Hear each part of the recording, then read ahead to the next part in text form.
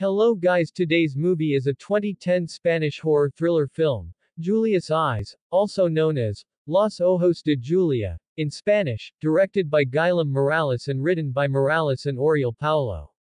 It was produced by Guillermo del Toro, Joaquin Padro and Mar Targarona. So spoilers ahead, go watch the full movie if you don't want it to be spoiled as it is a really good movie.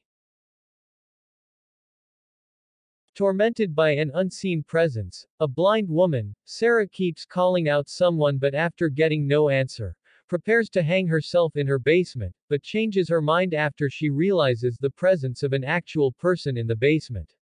But as she tries to remove the noose, the stool beneath her is kicked away, leaving her to die. Miles away, Sara's twin sister, Julia, feels suffocated and collapses, sensing something amiss. Julia, with her husband then visit her sister's house where they find the body of Sara in the basement. Julia who has the same degenerative disease but can still see, is tormented by Sara's death and also has the feeling of another presence nearby. She insists Sara was not depressed as she was awaiting surgery to restore her vision.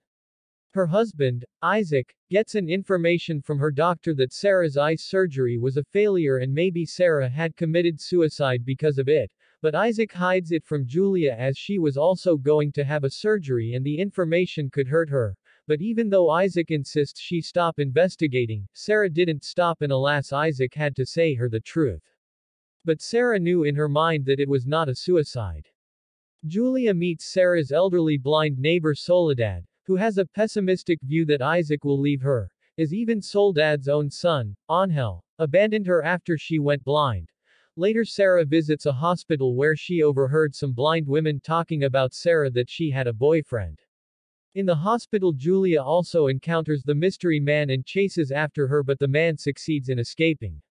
After hearing that Sara had a boyfriend, and they visited a hotel nearby, Julia goes there with Isaac. She is approached by an elderly janitor, Créspulo, who warns her of men who live in shadows, who are dangerous because they are tired of being ignored.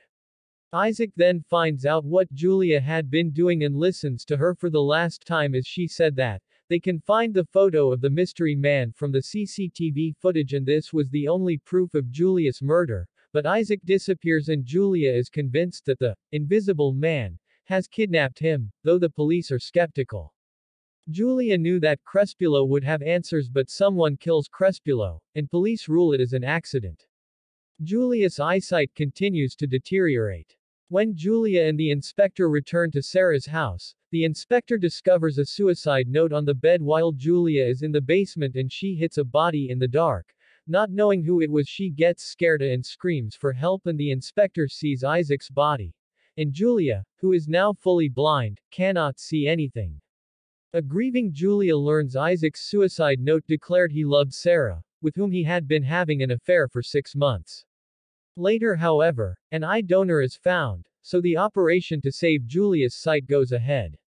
And it was a success and she is told she must wear bandages to protect her eyes from light for two weeks. Although she is said to stay at the hospital she insists on staying in Sara's house as she knew the place and also the morgue agrees to keep Isaac's body so she can see him to say goodbye after her surgery.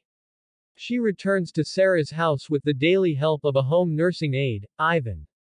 Julia is plagued by disorientation and convinced that somebody is lurking in the house, but Ivan's patience helps her regain her independence.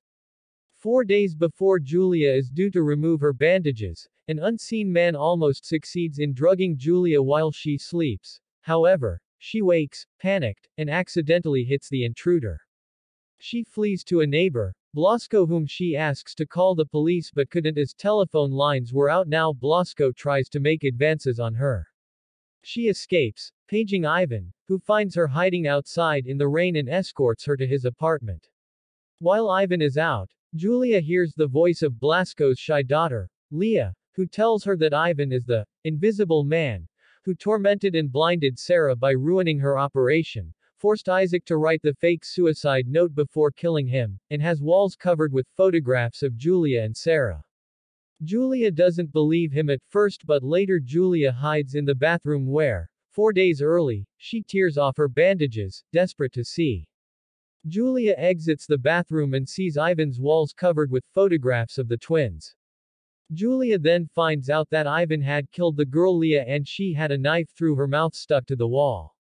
Ivan looking for Julia returns to the apartment, where Julia pretends that she is crying because she was tricked by a girl into removing her bandages and now her operation has failed. He believes her momentarily before leading her to the body of the real Ivan. Julia's scream betrays the fact that she can see. Ivan tells her he loves her and wants them to be together as long as her sight is gone, since blind women are the only ones who need him. Julia gets away from Ivan and Ivan drives Julia back to Sara's, where she flees to Soledad's. Ivan chases her and addresses Soledad as mom, revealing himself as her missing son, Angel. A candle and glasses betray the fact that Soledad is not really blind as she knocks Julia out, at which point an enraged Angel attacks his mother and blinds her. Julia escapes and manages to contact the police. Alas she uses a flashlight to show the police a bloodied Angel hiding in a corner of the room. Finally visible, he slits his own throat. At the hospital, Julia is told the damage to her new eyes is irreversible. Using her last few hours of vision, she finally says goodbye to Isaac's corpse, and it is revealed that he had donated his eyes to her. Hope you guys have a good day bye bye.